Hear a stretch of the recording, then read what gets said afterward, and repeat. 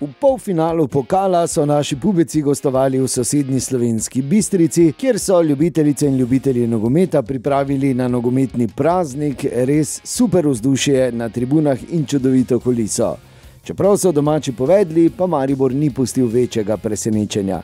Na koncu je z zadetki Toliča, Vipotnika in Antolina slavil s 3 proti 1 in se uvrstil v finale pokala, ki bo 6. maja v celju. Tu so najzanimivejši trenutki tega obračuna.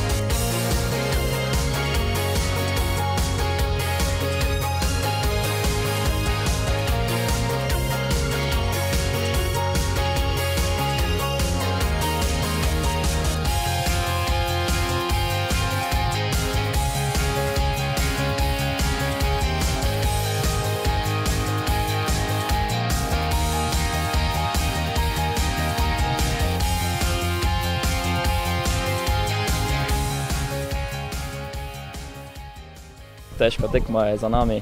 Predvsem prvi polčas, ko smo nekaj silili, silili, s tremi pasi smo hoteli priti v gol, kar seveda, ko je postavljena obramba, kot je bila danes Bistrica, ne moreš. Sestaviti bi mogli več pasov, igrati levo, desno, okoli njih. To nismo naredili prvi polčas, te pa šok v drugem polču, ko so takoj zadetek. Hvala Bogu nam je neki, hvala Bogu nam je neki klik naredil in smo zadeli dva hitriva zadetka in hvala Bogu zmagali in se uvrstili v finale. Ne smijete zaboraviti da je ovo i, i, i, i nekako psihološki jako teška utakmica jer u njoj malo toga pod navodnicima možeš dobiti, ne možeš reći da je ulazak u finale malo, nego već si nekako na papiru u finalu, a nisi, treba se još tu jako pomučiti, tako da i na tom psihološkom planu su dečki položili, po, pogotovo iz 0-1, a znate da ima je, bilo je bilo jako puno utakmica gdje se nismo uspjeli vratiti, ovdje jesmo i to nam daje još jedan pozitivni ovoga motiv. U finalu sve je otvoreno, naravno da ćemo sve od sebe. Ovoga, morat će nas iznositi van sa terena nakon utakmice, da li će to biti dovoljno ili neće, vidjet ćemo.